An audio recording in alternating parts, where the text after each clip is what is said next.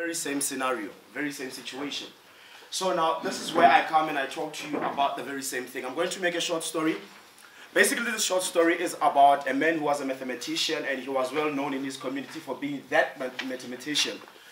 He had a son, and now the people started to wonder is the son as clever as the father? Now, the neighbor came and approached the son in the absence of the father and said, I have with me a 10 rand note and a 5 rand coin. So which one would you want to choose? And the boy took the 5 rand coin and left.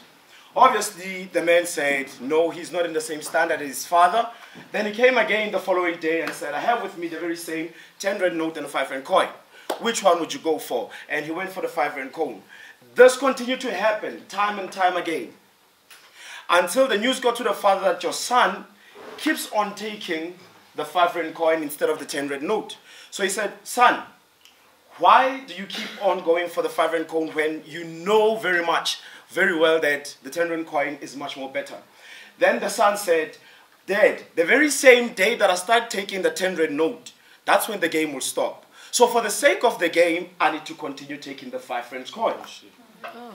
So now what I'm saying is, the mind can be easily fooled. What I'm also challenging you to do is to be the person that fools a mind. Be the person that is different. Be the person that goes for what is not expected. Be the person that will see the silver lining. It's very difficult for people to identify the silver lining or to see a positive thing out of a bad scenario.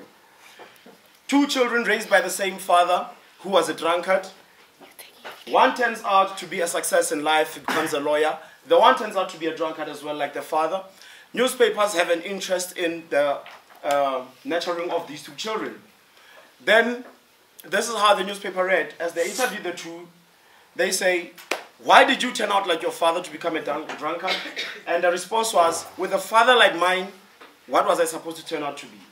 And then when they introduce, when they interview the lawyer, he says, with a father like mine, I had to do be, I had to be different. Same scenario, but different turn of events. So now, I was talking to you in general. Basically, you're thinking what I'm talking is general motivation. I'm not talking to you. Well, I've got news for you. I am not talking to you.